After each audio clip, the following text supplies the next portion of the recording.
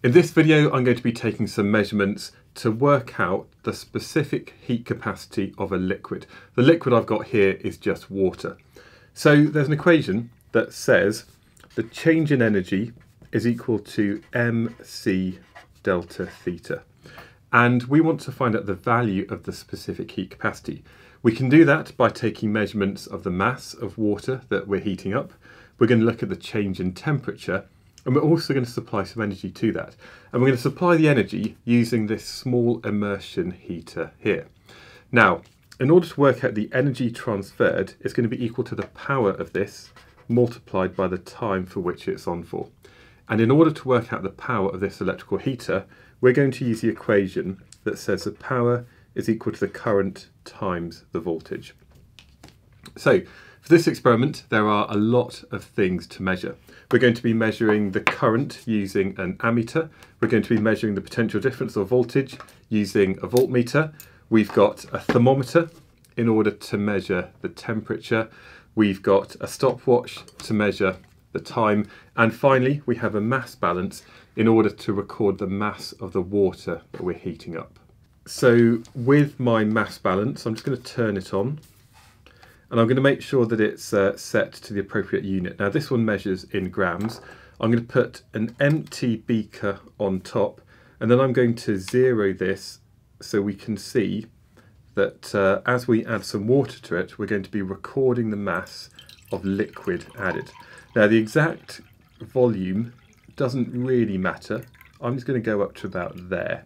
Okay, so for this I'm going to be using 227 grams and this is 0.227 kilograms. So it's always good to convert to SI units. So 227 grams of water is going to be heated up. Now, when I do the actual experiment, I'm going to be doing it on a heat-proof mat, uh, and that means if this does get hot, it's not going to affect the table. Um, this immersion heater here, what I'm going to do is connect it up into a circuit. Now I have an ammeter in order to measure the current that's going through this component. So that one goes in series. And then across the terminals of this immersion heater, we have a voltmeter. Okay, so I'm just going to put that in like so. So I'm just going to turn those on like so. Now, in order to reduce any extra heat loss from the top of this, I've just got a small lid that I made out of cardboard. There's a couple of holes in it. One of them allows the immersion heater to go through. So that's going to go into the liquid as far as possible so we get the most uh, heating effect. And there's another hole for my thermometer. Okay, so this one here, I'm just going to put it in there like so and then we're going to let that get to the same temperature as the water. Now what I'm going to be doing is recording the temperature every minute. I'm going to leave it switched on for about 10 minutes. So basically what I'll be doing is as soon as I turn the power pack on, I'll press go and then we'll record the temperature and the time. And it's always a good idea to keep your eyes at the same level as the measurement that you're taking.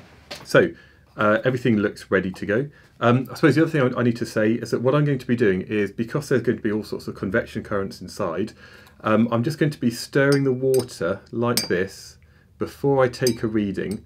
Um, and this means I've mixed all the water so that we have even heating of the water inside. So I think we're pretty much ready to go.